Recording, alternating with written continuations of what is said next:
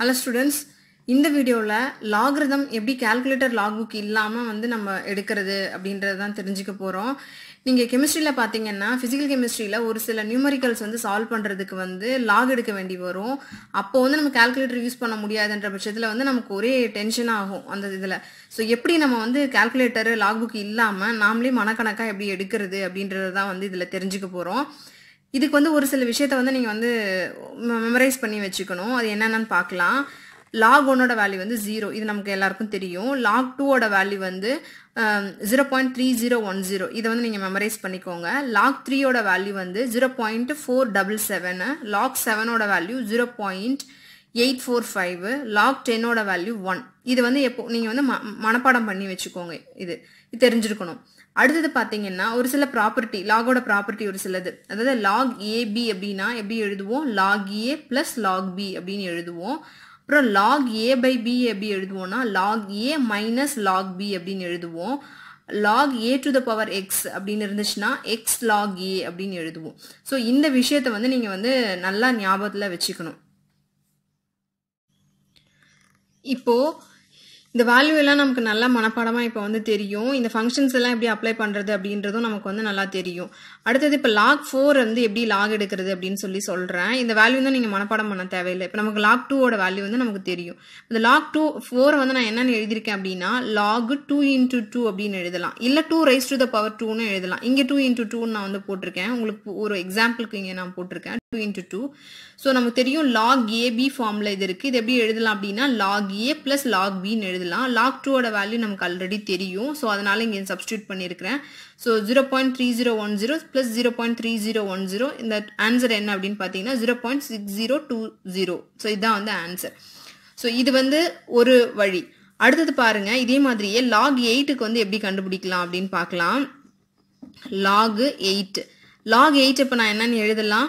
Log two rise to the power three அப்படின்னு சொல்லி எழுதலாம். எழுதலாமா? ஸோ அதாவது டூ கியூப் அப்படின்னு சொல்லி எழுதலாம். ஸோ இப்போ வந்து லாக் ஏ இப்போ இது என்னென்ன எழுதலாம் அப்படின்னா இந்த ஃபார்மில் இருக்குது ஏ பவர் எக்ஸ் ஃபார்மில் இருக்குது அப்போ என்ன வரும் இது?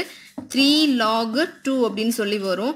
ஸோ த்ரீ நமக்கு வந்து என்ன அப்படின்னு சொல்லி சொன்னால் த்ரீ இன்ட்டு லாக் டூவோட வேல்யூ வந்து என்ன அப்படின்னு பார்த்தீங்க அப்படின்னா three zero zero point three zero one zero இதுதான் வந்து என்ன அப்படின்னு சொல்லி சொன்னால் லாகு டூவோட வேல்யூ ஸோ அப்படின்னா லாக் எயிட்டோட வேல்யூ என்னன்னு பாருங்கள் zero point nine zero three zero இதுதான் வந்து என்னன்னா லாக் எயிட்டோட வேல்யூ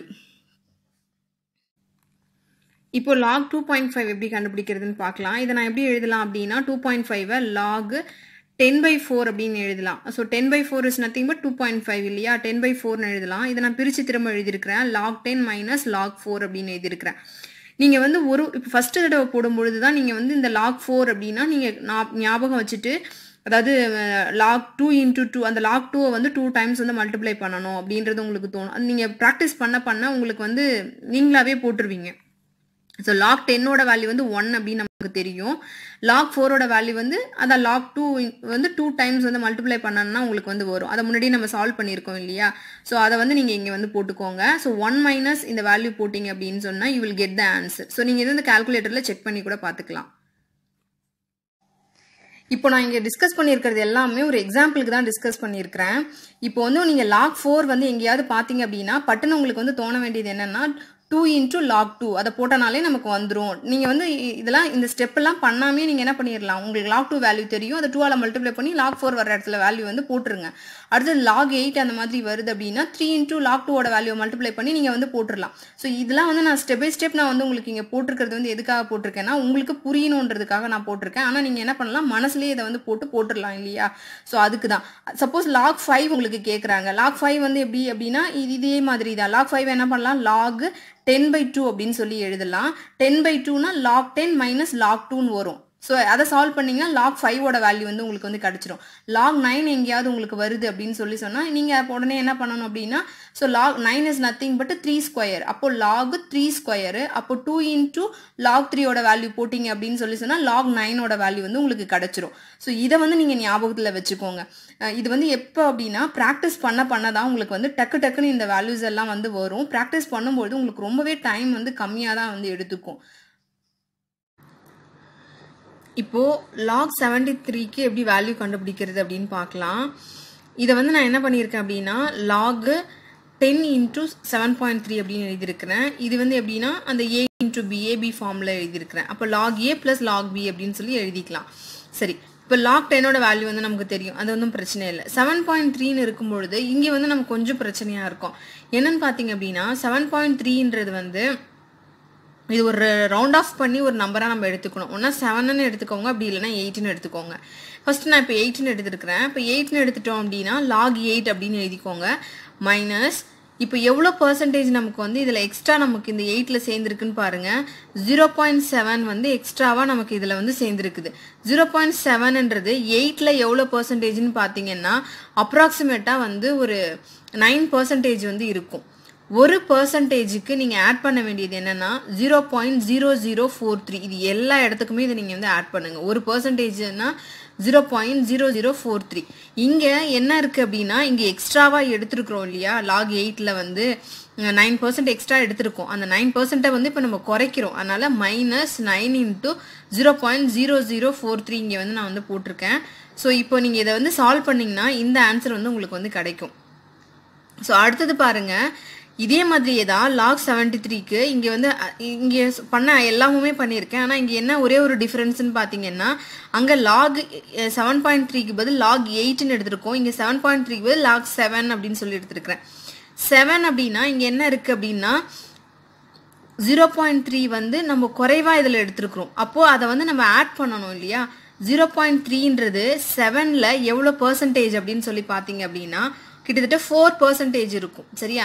அந்த அப்போ அந்த ஃபோர் பர்சன்டேஜ் வந்து நம்ம வந்து ஆட் பண்ணணும் இங்கே. இப்போ ஃபோர் பர்சன்டேஜ் ஆட் பண்ணணும்னா four into zero point zero zero four three வந்து ஆட் பண்ணுறோம் பண்ணிங்கன்னா you will get this answer இப்போ நீங்கள் லாக் செவன்டி த்ரீ வந்து கால்குலேட்டரில் போட்டு பார்த்தீங்கன்னா இதுதான் வந்து உங்களுக்கு ஆன்சர் இப்போ நம்ம நமக்கு கண்டுபிடிச்சிருக்க ரெண்டுத்தையும் பாருங்க.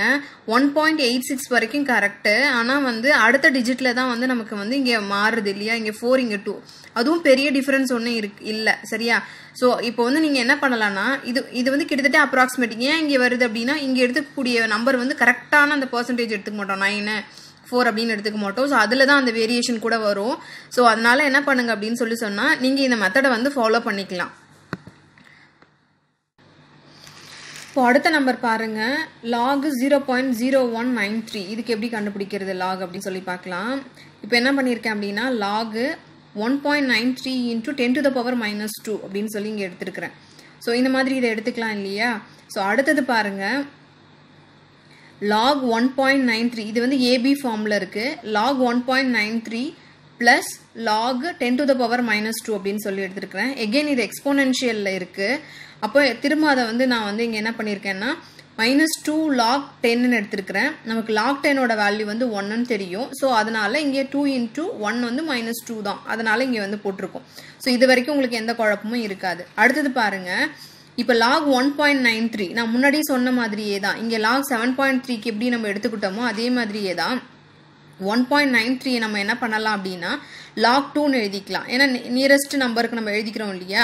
ஸோ லாக் டூ அப்படின்னு சொல்லி எழுதிக்கிறேன். மைனஸ் அந்த இப்போ எவ்வளோ இருக்குது அப்படின்னு சொல்லி சொன்னால் எக்ஸஸ் எடுத்துருக்குறோம். ஜீரோ பாயிண்ட் செவன் வந்து எக்ஸஸ் எடுத்துருக்குறோம்.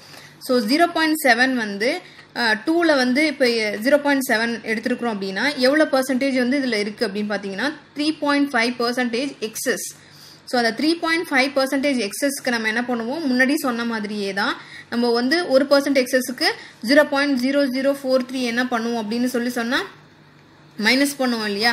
இங்கே வந்து த்ரீ பாயிண்ட் ஃபைவ் பர்சன்டேஜ் எக்ஸஸை வந்து நம்ம இங்கே குறைக்கிறோம். ஸோ அதனால் இங்கே நான் மல்டிப்ளை பண்ணியிருக்கேன். மேலே இருக்கிற மைனஸ் டூ அப்படியே இங்கே எழுதியிருக்கிறோம். திரும்ப பாருங்கள் இது எல்லாத்தையும் solve பண்ணினீங்கன்னா you will get minus one point seven one four இது வந்து அப்படியே நீங்கள் போட்டு பார்த்தீங்கன்னா கூட தெரியும். கால்சியில் log zero point zero one nine த்ரீயோட ஆன்சரும் இதுதான். இங்கே நம்ம அக்யூரேட்டாக அந்த பர்சன்டேஜ் போட்டிருக்கறனால நமக்கு இங்கே அக்யூரேட்டாகவே ரிசல்ட் வருது.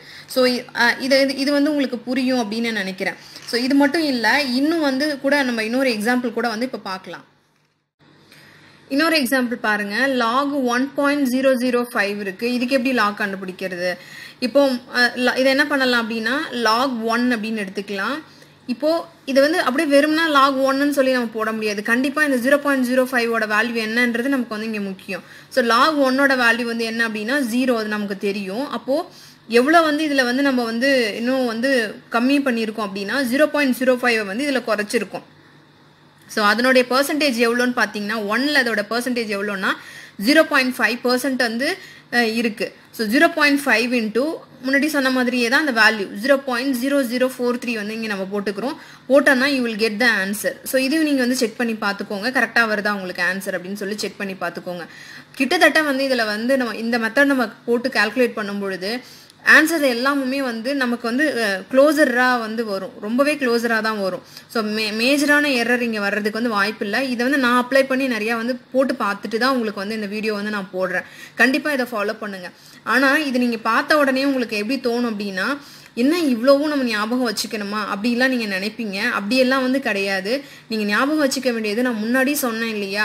அந்த ஒரு சில log two value log three value log seven value so அதெல்லாம் தான் நீங்கள் ஞாபகத்தில் வச்சுக்கணும். அது இல்லாமல் ஒரு பர்சன்டேஜ் இன்க்ரீஸ் அப்படின்னு சொல்லி சொன்னால் இந்த வேல்யூ வந்து நீங்கள் ரைஸ் பண்ண போகிறீங்க அதனால் இதை வந்து நீங்கள் ஞாபகத்தில் வச்சுக்கணும். மிச்சம் எல்லாமுமே நீங்கள் இந்த இந்த மெத்தட் நான் எப்படி போட்டிருக்கேன்றத புரிஞ்சுக்கிட்டு சால்வ் பண்ணுறதுல தான் இருக்குது ஸோ த்ரூ ப்ராக்டிஸ் தான் இது வந்து உங்களுக்கு வந்து ஃபெமிலியர் ஆகும்.